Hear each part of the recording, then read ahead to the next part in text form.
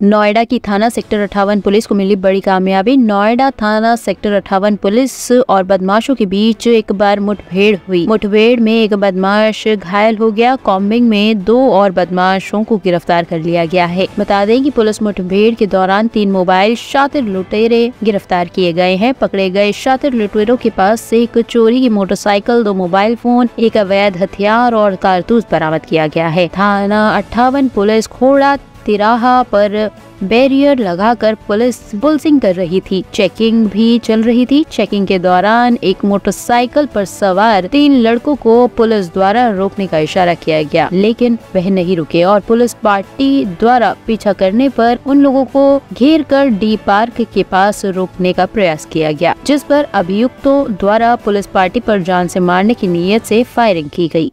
Police द्वारा की गई जवाबी फायरिंग में सेक्टर अठावन हिस्ट्री शीटर, शातिर लुटेरा, आकाश और शिवा गोली लगने से घायल हो गया है। घायलों को उपचार के लिए जिला अस्पताल भेज दिया गया, जहाँ उनका इलाज जारी है। शातिर लुटेरे के और दो साथियों, नितेश पुत्र जयशंकर तिवारी, रोशन झा पुत्र सर्वेश झा को कॉम्बिंग के दौरान गिरफ़्तार किया गया। रात्रि में सेक्टर अट्ठावन पुलिस की बदमाशों के साथ मुठभेड़ हुई है। सेक्टर अट्ठावन की पुलिस खोड़ा तिराहे के पास चेकिंग कर रही थी इसमें एक मोटरसाइकिल पे तीन लड़के आते हुए दिखाई दिए, जिनको रोकने का प्रयास किया गया।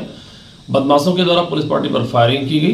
बेजवाबी फायरिंग में पुलिस पार्टी के द्वारा फायर किया गया, जिसमें एक बदमाश घायल हुआ। घायल बदमाश की पहचान आकाश और शिवा के रूप में हुई है, जो कि एक हिस्ट्री सीटर है, जिसके ऊपर दर्जनों मुकदमे संगीत धाराओं के पंजीकृत हैं। इसके अलावा एक रितेश और दूसरा रोशन है बदमाश।